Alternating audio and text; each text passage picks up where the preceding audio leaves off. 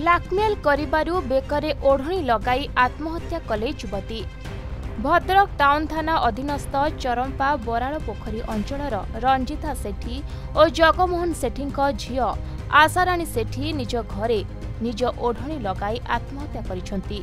ଗତକାଲି ସନ୍ଧ୍ୟାରେ ଘରେ କେହି ନଥିବା ବେଳେ ଝିଅ ବେକରେ ଓଢ଼ଣୀ ଲଗାଇ ଦେଇ ଆତ୍ମହତ୍ୟା କରିଛନ୍ତି ବୋଲି ପରିବାର ଲୋକମାନେ ଅଭିଯୋଗ କରିଛନ୍ତି। ଆଠ ଦିନ ପୂର୍ବରୁ ଆଶାରାଣୀ ସେଠୀଙ୍କୁ ଧମକ ଦେବା ସହ ଗାଳିଗୁଲଜ କରିଥିଲେ।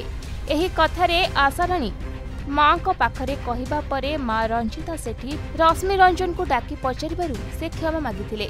ତେବେ ଗତକାଲି ସନ୍ଧ୍ୟାବେଳେ ତାଙ୍କ ଝିଅକୁ ସେହି ଯୁବକ ଜଣକ କିଛି ବ୍ଲାକମେଲିଂ କରିଛି।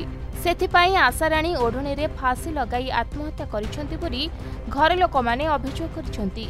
ଏନେଇ ଟାଉନ୍ ଥାନାରେ ଲିଖିତ ଅଭିଯୋଗ କରିଛନ୍ତି ପରିବାର ଲୋକ ପୋଲିସ ସଠିକ୍ ଭାବେ ତଦନ୍ତ କରି ପରିବାରକୁ ନ୍ୟାୟ ଦିଆଯାଉ ବୋଲି ପରିବାର ଲୋକମାନେ ନିବେଦନ କରିଛନ୍ତି ସେହିପରି ଗ୍ରାମବାସୀମାନେ ମଧ୍ୟ ପୋଲିସ ନିରପେକ୍ଷ ଭାବେ ତଦନ୍ତ କରି ଦୋଷୀକୁ ଗିରଫ କରାଯିବାକୁ ନେଇ ଦାବି କରିଛନ୍ତି ମୋ ଝିଅ ତ ତାର ସ- ଫାଶୀ ଦେଇ ଦେଇଛି ଆପ୍ରୋନ ଲଗେଇକି ମୁଁ ସେଥିପାଇଁ ଦାଇ ଗୋଟିଏ ପିଲା ଆମ ଘର ପାଖରେ ବୋଧେ ସେ ହିଁ କରିଛି ତାକୁ ଟଚଡ଼ କରିଛି